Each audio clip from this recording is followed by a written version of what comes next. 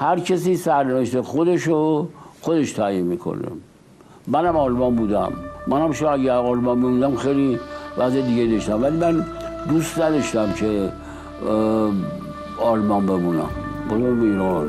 چون من علاقه داشتم به کشورم.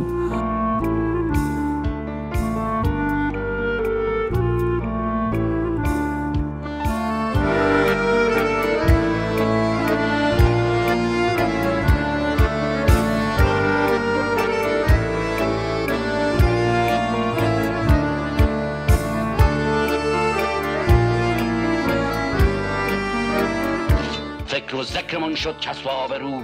چه آبرویی مملکت رو تعطیل کنیم دارالایتام دایر کنیم درست تره.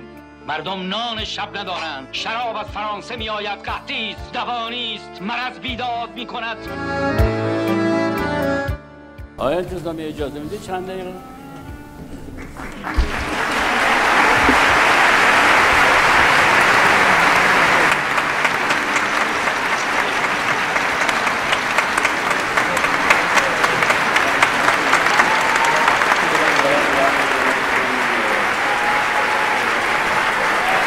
نظرش برام خیلی مهمه.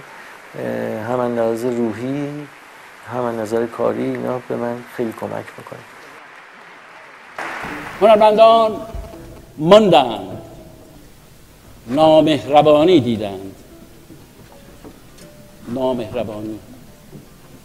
برعکس هنرمندان با مهربانی کار کردند. با مهربانی سناریو نوشتن فیلم کار کردن پیس نوشتن تئاتر کار کردن نقاشی کردن شعر گفتن کنسرت دادن. با مهربانی مهربانی مهربانی فقط مهربانی. پس این فصل را با من بخوان. باقی فسانه است افسانه است.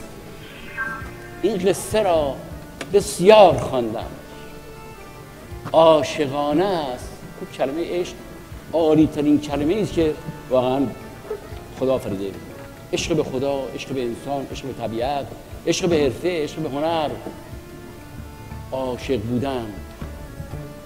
شروع کن قربونت برم.